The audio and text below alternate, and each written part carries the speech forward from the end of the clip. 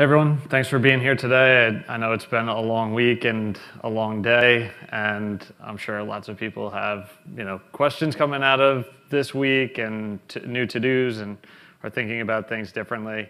Um, so I'm really happy that you're here today. It's like kind of the end of the conference, so always feels tough to do a, a talk in the afternoon of the last day, but it's great to see some folks showed up. Um, for folks who don't know, my name is John Coghlan. I'm on the community relations team at GitLab. I've been there for about four years. And in my time there, I started our meetups program. I started the GitLab Heroes program. And recently I moved into a role where I'm like focusing on all of our user engagement. And so that's kind of like content and thought leadership is kind of one of the work streams. Uh, attracting more contributors and customers to become contributors is another work stream. And then there's a certification program. And when I moved into that role, we started to develop this concept of a community funnel. And the idea is to kind of, you know, understand the different ways that our community engages with us. And that will help us become kind of more efficient in moving people through. And so I just wanted to share that all briefly with you today. Um, one of the things that you know we find at GitLab is that our community provides us with really valuable feedback, and so I'd love to talk to anybody after um, these other great lightning talks and just get your feedback on kind of what I'm about to present and see if there's anything that I can learn from you because I know there's a ton of amazing people at this conference. So what is a funnel? So marketing um, and growth teams have been using kind of you know this funnel-based approach for a very long time. And the idea is to outline the path that you want kind of a person to take to become a customer. For folks who are more familiar with product and development work, that could be similar to like a user journey. So when you're you know, building a product, you create this journey that other steps a person would take to become a user of your product and ultimately have a great experience using that product. And you know, th this kind of approach is really helpful in defining this kind of happy path or um, flow that you want a person to follow. And so communities and community managers can adopt a similar approach. And that was really the inspiration for us at GitLab, like following some of these kind of best practices in, in marketing and product development and applying them to the community kind of you know, facing work that we do. Um, and you know, ultimately, if you're successful in this, you're going to be able to create a great experience for community members and build healthier communities and ultimately make your team more effective and more efficient. So let's talk about why. Why should you care about this? Why should your boss and the executives in your kind of or leaders in your organization care about this? Communities are notoriously difficult to measure. I often joke that if you put like community folks eh, or DevRel folks in a room, then they'll talk about like three things: how hard it is to measure stuff, what should we call ourselves, and what part of our organization should we report into. Those are like the evergreen topics in in this kind of field. Um, and you know, I think funnels are a great way to combat that kind of difficulty in measuring things. You know, ultimately, people know what actions they want people to take, but the issue is like attributing how people get to take those actions. And so breaking it into a series of steps or like a funnel will provide a forcing function to the community team or you know community manager to define those touch points that you want to have with your community identify ways that you can have success with each of those touch points, understand how to improve the experience um, for your community at each one of those levels. And then, you know, in my opinion, the most important out- outcome is knowing where to invest your, your kind of dollars or your efforts um, to help you get the results that you want at the end of that funnel. So before things get kind of too abstract, I'll just go through the funnel that we've created for GitLab, and hopefully it can be an inspiration to you if this is something you're thinking about doing. So at the top of our funnel is awareness. So broadly, awareness is how many people know that your community exists. And you know, this is going to be different for different communities. So this could be something where it's driven through blog posts or conferences or speaking opportunities or sharing your project on Hacker News, or maybe it's just something that people are finding on GitHub because you have a lot of stars. Um, you know, the metrics to measure for this level of the funnel could be unique page views or Twitter impressions. Maybe it's people visiting your forum. Um, you know, I, am not going to really try to be too prescriptive for what you should measure. I just want to kind of lay out the outline here. And so if I ask you, how do people first learn about your community? The first thing that pops into your head is probably a pretty good indication of what you should be thinking about at this awareness level.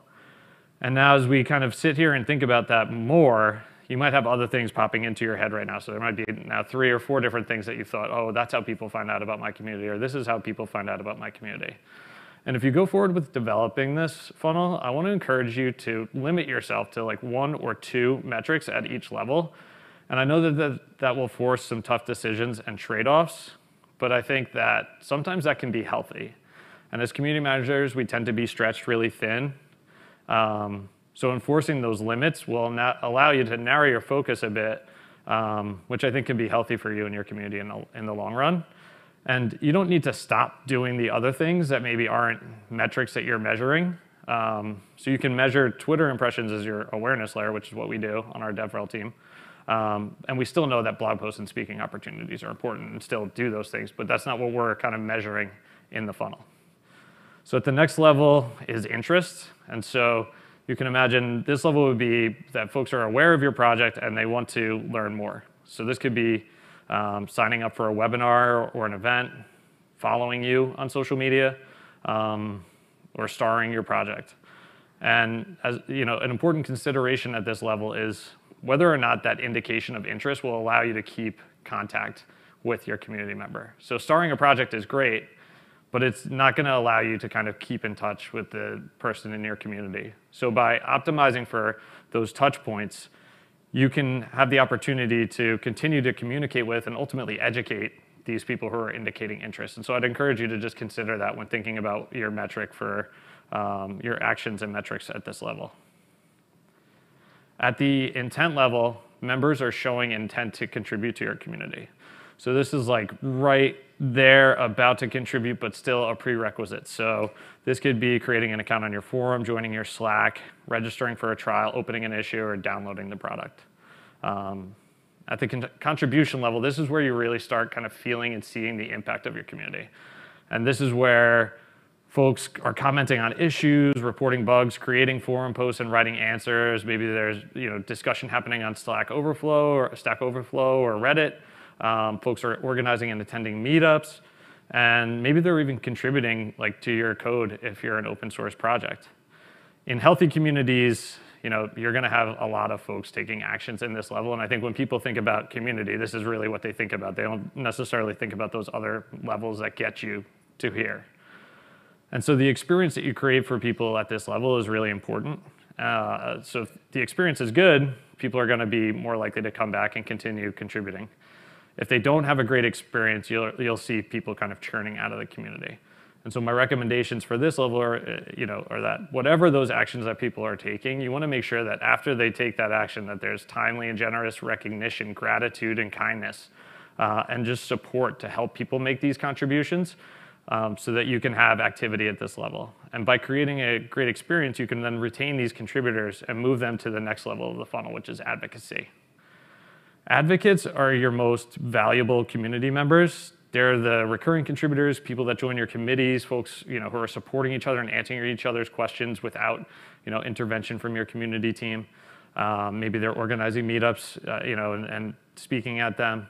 And a good contribution experience is essential if you want to move people into this level. So also make sure that you're, uh, or I should say, and then after you have people taking these actions and becoming advocates, make sure that you're still supporting them. Don't take them for granted. You need to you know, invest in programs and resources and encouragement and training to keep these people engaged and keep them growing in your community.